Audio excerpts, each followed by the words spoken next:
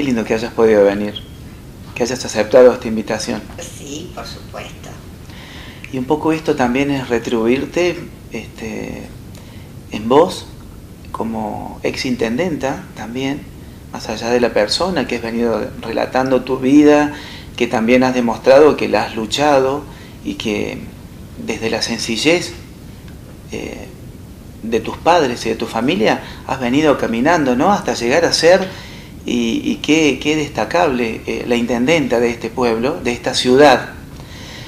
Y, también aprovechar porque eh, durante tus gestiones tuviste también la delicadeza de homenajear en vida a la gente. Eso es interesante porque este, la gente necesita ese mimo. Sí, sí, yo mm, te lo he comentado. Eh, tuve, mm, digamos, eh, ese, esa impronta de homenajearlas en vida, porque es un mimo, un reconocimiento a gente que ha dado mucho. Y bueno, acá tuvimos excelentes intendentes. Bueno, con el que más tiempo trabajé fue con Roberto. Bueno, Roberto, una persona emprendedora, pujante, también, que nos ha enseñado a todos mucho, porque siempre con ese espíritu de lucha, de trabajo, eh, es como el primer trabajador, ¿no? Es como que horas incansables. Así que, bueno, después Reinaldo también, así que una persona muy simpática, ¿eh? muy alegre, también hizo muy buena intendencia.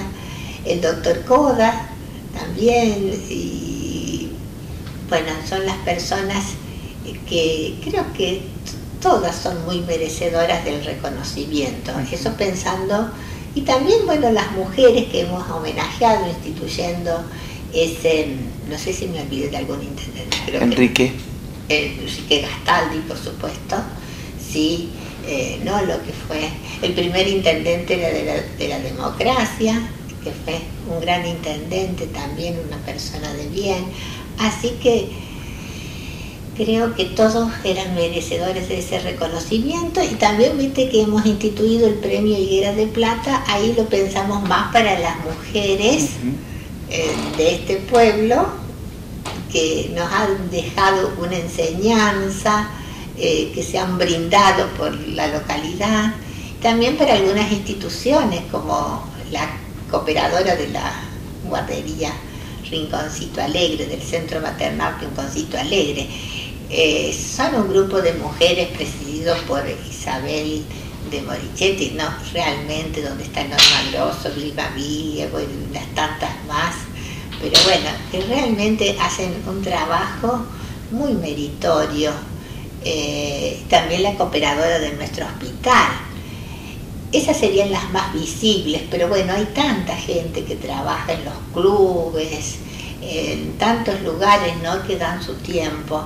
Yo creo que, bueno, ese pequeño reconocimiento a las personas en lo individual, o a las instituciones, a los exintendentes, creo que en un momento especial lo pudimos hacer un poco motivado por la declaración del general de esa ciudad, creo que merecían. Ese pequeño, muy sencillo, hicimos un acto muy sencillo, pero queríamos llegar con ese pequeño presente para mm, reconocerle, para darle las gracias por ese tiempo que dieron por la comunidad todos ellos eh, sin pedir nada a cambio, o sea que dispusieron de su tiempo, de su esfuerzo, a veces de eh, quitándole tiempo a su, para sus trabajos personales, para su historia de vida, para su familia, así que